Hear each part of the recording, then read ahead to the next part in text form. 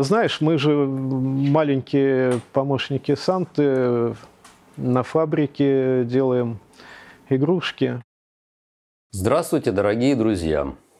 А, многие из вас уже знают уникальный звук синтезаторов Сома, но мало кто знает, что стоит за этим звуком, сколько труда, сколько процессов, сколько уникальных подходов внутри этих коробочек и почему этот звук рождается именно таким. Я сам являюсь поклонником технологии сборки синтезаторов и вообще звукового оборудования 40-х, 70-х годов.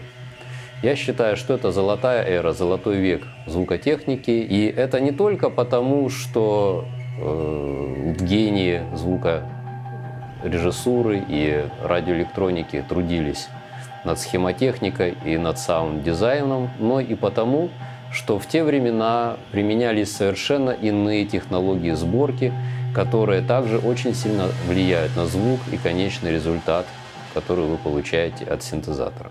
Процесс сборки радиоэлектронного оборудования был крайне не унифицирован и содержал в себе огромное количество ручного труда. То есть буквально каждая деталька припаивалось отдельно, и каждое соединение делалось отдельно. И отсюда рождается очень много вот той самой пресловутой теплоты и душевности, человечности звука 40-х, 70-х, которые так любят саунд-продюсеры и музыканты. В нашей лаборатории СОМА мы постарались, насколько это возможно, возродить технологии сборки инструментов 60-х, 70-х годов. Все флагманские устройства. Сомы такие, как Лира, Пульсар, Пайп. Все это собрано во многом по технологиям именно вот тех старых времен. И содержит в себе огромное количество ручного труда, огромное количество внимания человеческого, живого. Я не скажу, что, например, лиру там или пульсар нельзя сделать э, при помощи современных там технологий, да, э, микромонтаж, э, автоматическая сборка, там все, вся вот эта компоновка, да. Но э, при этом теряется самое главное. То есть это, во-первых, некая атмосфера, да, то есть что это прибор все-таки он ручной сборки, он кастомный.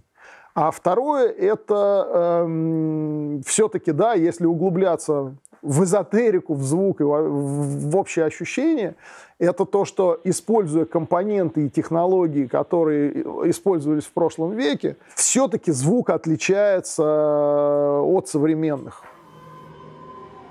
Звуковое оборудование, оно из всего технологического инвентаря, которым пользуется человек, наименее функционально и наиболее эмоционально. И вот здесь не идеальность, странность, шероховатость играют первостепенную роль и зачастую гораздо важнее, чем правильность и выдерживание каких-то цифр и параметров.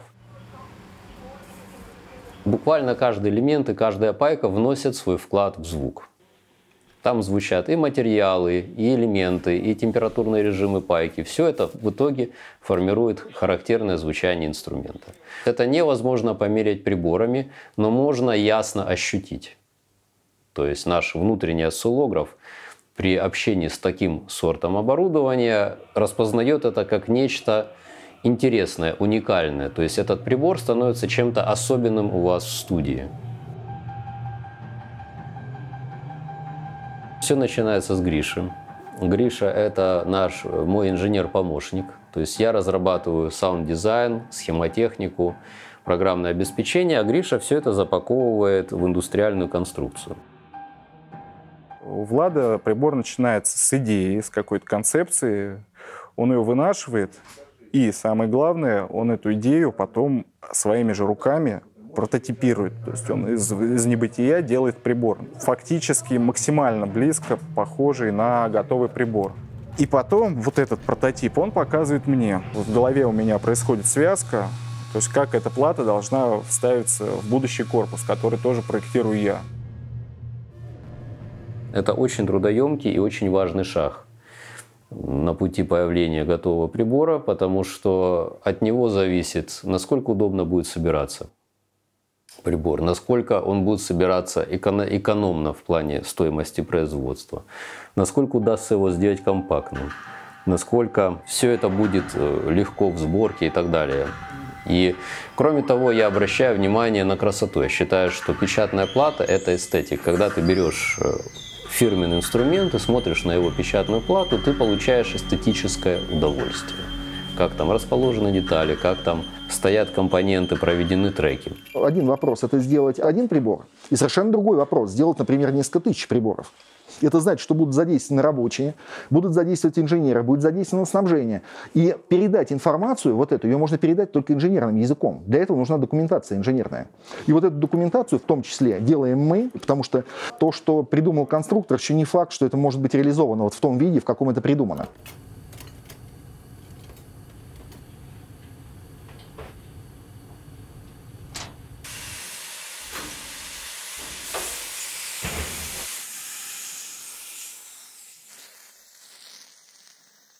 Даже корпус наш изготавливается во многом вручную. То есть, понятное дело, раскройка идет лазером, но гиб идет вручную, покраска порошковая ручную и шелкография только вручную во всем мире ее не катают никакими роботами. Это старинный 200 или 300-летней давности ручной процесс с вот этим ракелем, с этой сеточкой. И тут надо уметь, тут уже важно мастерство, потому что как ты катаешь эту шелкографию, сильно зависит внешний вид прибора.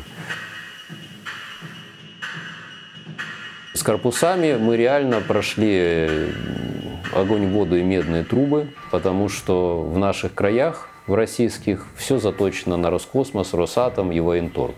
И поэтому там совершенно нет требований к дизайну. То есть там есть большие требования к надежности, какие-то механические параметры, чтобы прямое попадание ядреной бомбы выдержало. Но вот чтобы шелкография была напечатана ровно, красиво, корпус был без царапин, без всяких пятен. Вот это очень сложно, потому что ни Росатому, ни Роскосмосу это не важно. И вот как раз наши партнеры АЛАС прекрасно этим владеют, и мы их любим, с ними дружим, и практически все, что сделано в русском подразделении СОМа, сделано в плане корпусов, металлопроизводства сделано в АЛАСе.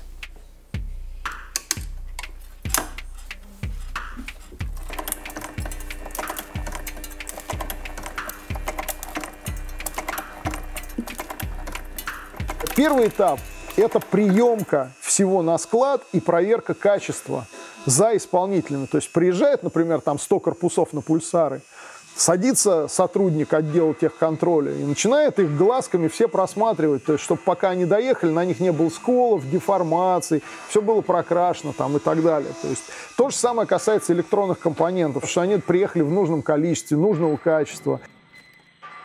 Дальше собирается печатная плата, напаивается туда детали. Это сложный, долгий процесс.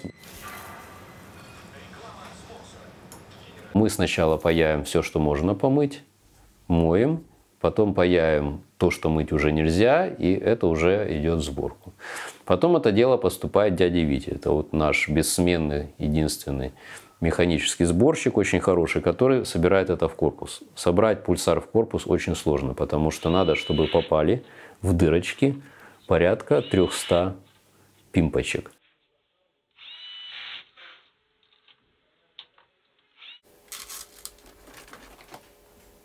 Ну вот, э, я их собираю.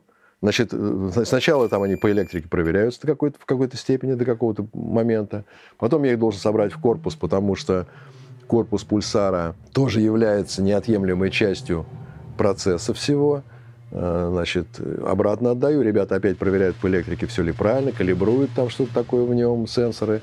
Потом опять это все приходит ко мне, я это собираю еще до какого-то предела. То есть здесь несколько степеней проверки. И в конечном итоге когда-то наступает момент, когда я наконец все закрываю, э, клею стикер с серийным номером, и все равно после этого отдаю ребятам э, на так называемую постпроверку. Вообще это называется военная приемка, то есть на заводах. Это когда сидит человек и за монтажником, потом за сборщиком проверяет вот каждую детальку, каждую точку, каждый узел, что все припаяно, что все стоит на своих местах. Пульсар, да, это стало изделием, связующим фактором. На нем отработались те моменты, которые раньше вызывали э, массу проблем во-первых, правильность технологичного процесса самой сборки. Во-вторых, э, Слава э, ввел абсолютно правильно советскую систему строжайшего учета всех операций.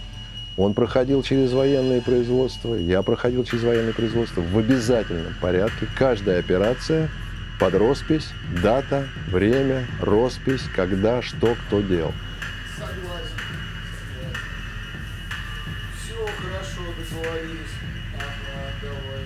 В данном конкретном случае мы с вами наблюдаем, что наше такое популярное изделие, как пульсар, сейчас выглядит вот как э, некая конструкция из нескольких плат.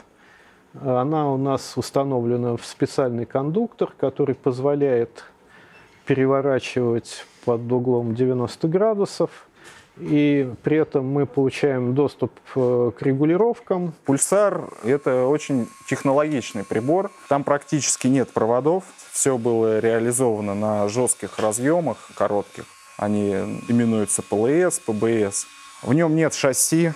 Шасси э, — это такая рама внутри, на которую крепится абсолютно все. Мы же понимаем, что это такой грувбокс да, с четырьмя голосами. Поэтому эти голоса мы здесь можем наблюдать в виде отдельных плат, которые на разъемах крепятся к общему майнборду и легко снимаются. Соответственно, это позволяет осуществлять э, сборку достаточно э, простым способом, потому что основная плата закрепляется у нас в корпусе, а все остальное уже собирается на разъемах и на стойках. И надо только закрыть э, потом крышку. Мы для проверки специально э, делали вибростенд. И э, включенный аппарат у нас в вибростенде находился больше 10 часов. При этом у нас не произошла никакая поломка, ничто не отказало и так далее.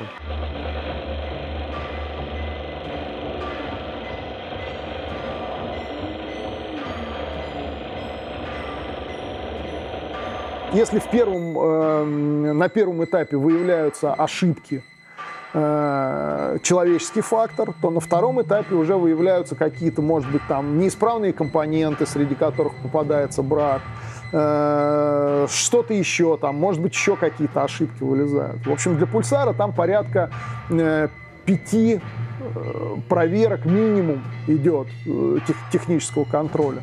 Для каких-то приборов попроще, типа там лиры, например, там три этапа контроля. У нас э, каждое изделие, каждые платы фотографируются. Под нашим руководством э, может наш клиент э, снять заднюю крышку, получить доступ платам, которые, как я уже показывал, на разъеме можно снять осмотреть. И специфика нашего бизнеса такова, что мы отправляем дорогостоящий прибор очень далеко. Ну, то есть это другие страны, это в том числе даже, даже и Австралия, даже Новая Зеландия. Стоимость пересылки достаточно высока. Если прибор, не дай бог, выйдет из строя, то это будет говорить свидетельство о том, что мы в рамках исполнения своих обязательств мы должны будем э, за свой счет обеспечить пересылку к нам, отремонтировать, что будет, как правило, ну, 3 копейки, и затем опять отправить. То есть помимо того, что мы доставляем неудовольствие нашему клиенту, э, мы э, несем потери. И нам намного выгоднее делать деталь качественно. Что такое бутиковый синтезатор? Это не только то, что, знаешь, мы лейбу наклеили, те же штаны, только с другой лейблой в 10 раз дороже стоят. Внутри пульсар, откройте там современное любое оборудование, откройте пульсар, и вы сразу увидите разницу. Вот в этом живет душа инструмента, как ты с ним взаимодействуешь, что ты чувствуешь, когда эти ручки крутишь. Поэтому даже если вы полностью скопировали схему инструмента, запихнули в маленькую коробочку на SMD, там все сделали, MIDI in, прикрутили, это не будет э, клон действительный, то есть это будет функциональный клон, в какой-то степени звуковой клон, но не клон эмоциональный. И вот мы делаем как раз так, чтобы вот эта эмоциональная компонента максимально, насколько это в современном мире возможно, присутствовала. И это наиболее и резонирует, потому что Сома, она чем прекрасна? Мы не вкладываем деньги в рекламу, потому что нас любят бесплатно, без дополнительных усилий с нашей стороны. Нам достаточно делать то, что мы делаем, и за это нас любят. в достаточной степени, чтобы это был бизнес. И, кстати, это одна из причин, почему мы можем вкладывать столько внимания и ручного труда в инструмент. И в этом немаленькая доля вот этой самой магии. И той теплоты, которую люди распознают. Потому что для людей сома – это душевное такое, э, эмоционально теплое явление. Очень важно творческому человеку, да, вот э, инженеру, именно чувствовать сопричастность э, к тому, что да вообще любому, надо сказать, человеку, мне кажется, это важно. Э, Понимать свою роль и свой вклад э, в дело той компании, ну, того коллектива, в котором он работает. Э, Мне кажется, здесь очень большой потенциал, ну, вот, что и, в общем, мы стараемся его не упускать, вот этот потенциал.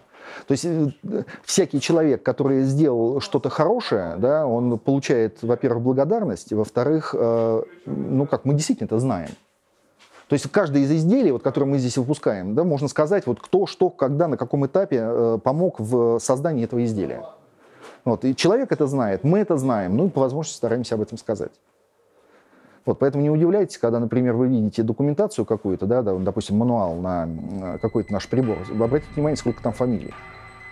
Вот это, в общем, вот вершина этого айсберга.